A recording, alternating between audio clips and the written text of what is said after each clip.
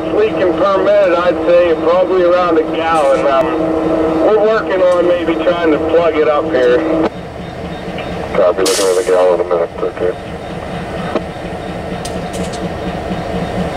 We have 3,000 gallons in that tank. Copy.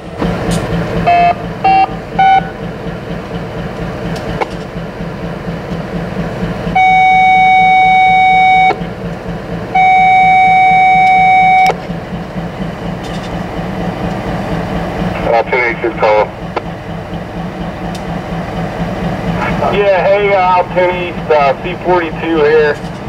Um, conductor wedged a piece of wood in there, got the leak to stop, over. You broke up there, uh, C42.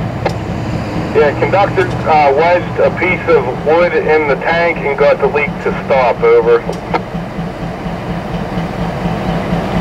Copy, uh, Kirby's coming down to take a look at it, over.